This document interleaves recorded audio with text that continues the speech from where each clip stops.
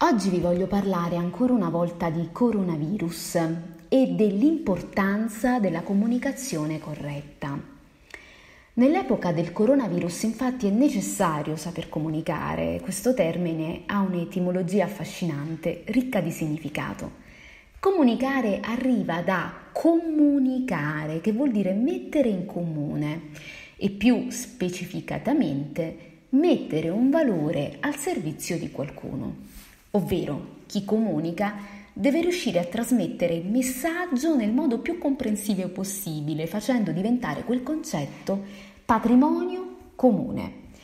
Dunque, se qualche italiano non ha compreso l'importanza di stare a casa, a mio avviso, è perché il messaggio non è arrivato nella maniera corretta. Mario Lavi, a proposito della comunicazione di Conte, precisa sull'inchiesta nel sottotitolo di un interessante articolo uscito il 21 marzo 2020.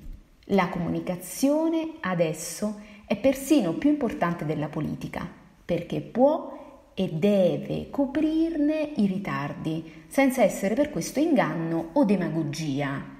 Procedere con i si deve, con le fonti di Palazzo Chigi dicono che non è serio, non è tollerabile e non è efficace.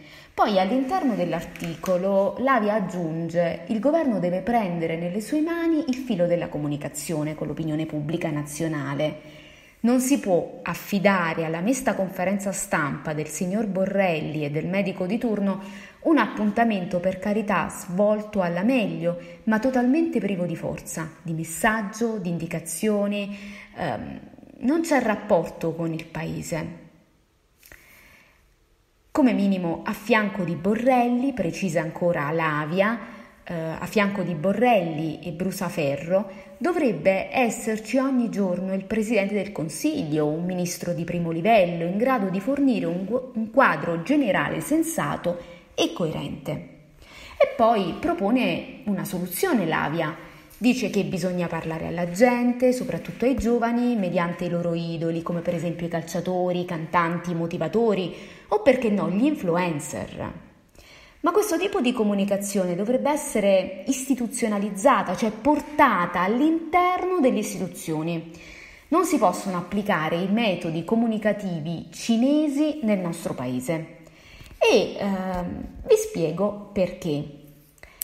Ora si dice gli italiani non capiscono, gli italiani sono indisciplinati, ma io mi spingo oltre e dico gli italiani non sono cinesi e so che questa affermazione farà molto discutere perché ognuno potrebbe leggere nelle mie parole ciò che vuole.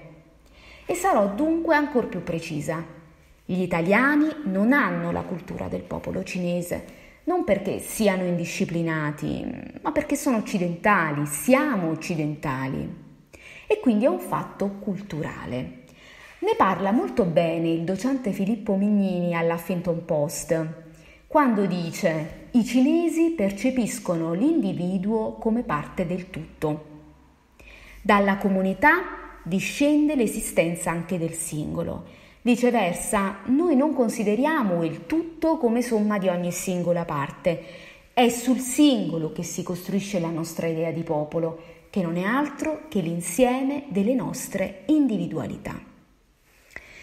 Mignini afferma inoltre che il cinese ha alle spalle 2400 anni di confucianesimo, una cultura ripresa anche dall'attuale Partito Comunista che insegna un acuto senso della responsabilità sociale. Al contrario, e non è che questo è meno importante, eh, quindi sia mh, e debba essere considerato negativo, siamo diversi. È tutto qui, siamo diversi. Noi abbiamo dietro una filosofia che si è mossa nella direzione di una forte maturazione della dimensione individuale. Quindi chi scrive i discorsi del Premier dovrebbe tener conto di questa sostanziale differenza. Ma non solo, anche le strategie dovrebbero essere diverse. Gli italiani dovrebbero sentirsi valorizzati prima di tutto come individui e non come popolo, perché ragioniamo in modo individualistico. Massimo come famiglia, ma non come popolo, non come comunità.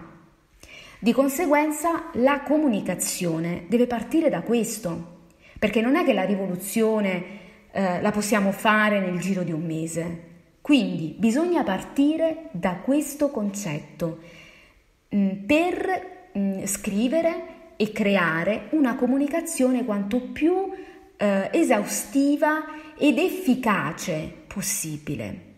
Una comunicazione quindi eh, che dovrebbe essere affidata a chi davvero riesce a smuovere le coscienze, anche con discorsi motivazionali, partendo da argomenti che magari fanno più presa, soprattutto negli adolescenti, i quali sono più votati a trasgredire, proprio per motivi inconsci, quindi legati alle, all'età, e eh, affidando quindi la comunicazione, ovviamente non di aspetti tecnici, eh, ed economici, questo spetta a chi è competente, però affidando la comunicazione a persone che sono più vicine agli italiani, come sta facendo un po' Sky TG24.